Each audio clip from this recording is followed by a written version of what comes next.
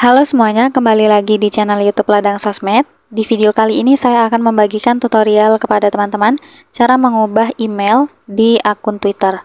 Nah, seperti biasa, sebelum lanjut jangan lupa buat teman-teman untuk subscribe dulu channel YouTube ini dan jangan lupa juga untuk nyalakan tombol loncengnya supaya kalian selalu dapat updatean terbaru dari channel YouTube Ladang Sosmed.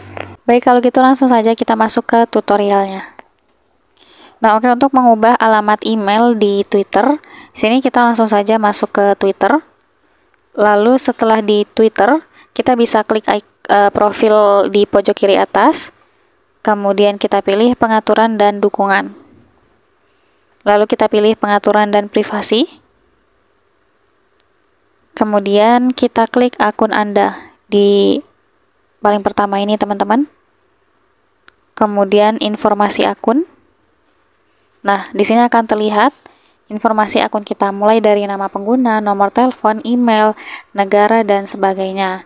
Nah, kita klik saja yang di bagian email ini. Nah, di sini kita diminta untuk memasukkan kata sandi akun Twitter kita, teman-teman. Oke, jika sudah kita klik berikutnya. Nah, di sini teman-teman bisa baca dulu.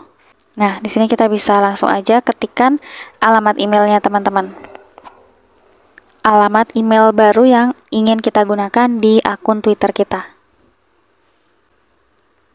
Nah, teman-teman, kalau kotaknya berwarna merah seperti ini, tandanya untuk alamat email ini sudah ada yang pakai.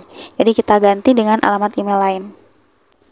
Nah, jika kotaknya berwarna biru dan ada centang hijau, itu tandanya alamat emailnya bisa digunakan, teman-teman.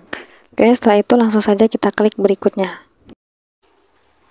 Oke, kita harus masukkan uh, kode verifikasi yang dikirim ke alamat email kita.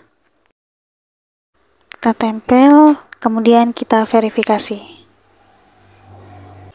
Nah, oke teman-teman, sekarang untuk akun emailnya sudah berubah ya.